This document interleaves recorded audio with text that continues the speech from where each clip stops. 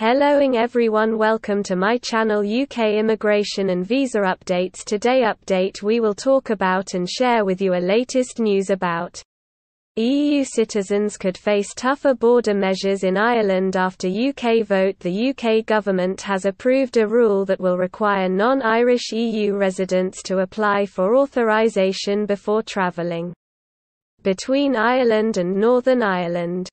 The requirement, voted through on Tuesday night by a majority of 298 MPs, is part of the Nationality and Borders Bill and has been called unworkable by the Committee on the Administration of Justice CAJ.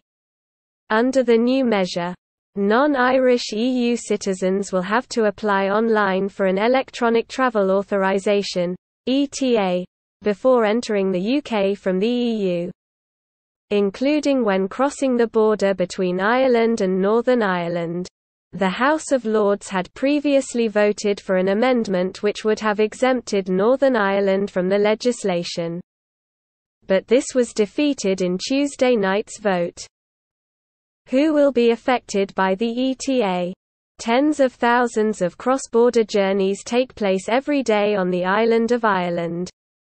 Simon Coveney the Irish Minister for Foreign Affairs said that the decision was contrary to the approach that the UK and Irish governments have supported for many years to protect free movement on the island for everyone. He added that, Our concern on this has been communicated clearly but has been ignored. The new rule will also apply to citizens of the wider European Economic Area EEA, who are resident in Ireland. Why has the bill been introduced now? The bill is part of the UK government's wider overhaul of immigration legislation post-Brexit and an attempt to strengthen border security in the UK.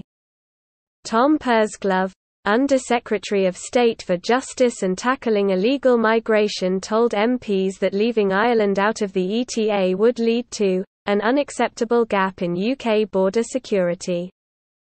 He went on to state that the UK is entitled to introduce and change its own requirements in the interest of securing the UK border. However, some activists in Ireland believe that the ETA will put pressure on the Common Travel Area (CTA), the long-standing arrangement between the UK and Ireland which predates EU membership.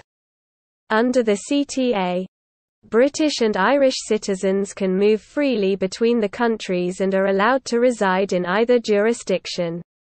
As the CTA only applies to UK and Irish citizens.